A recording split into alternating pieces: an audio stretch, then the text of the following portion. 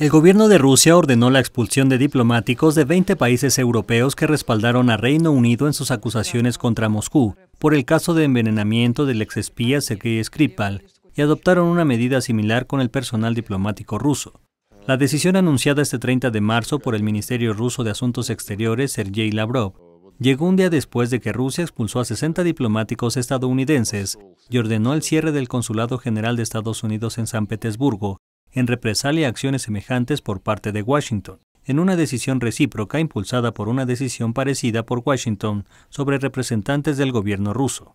Los movimientos diplomáticos llegaron después de que Reino Unido sugirió la participación de Rusia en el envenenamiento del exespía ruso Skripal, quien murió, y su hija Julia, quien actualmente se encuentra en recuperación en un hospital británico. Notimex.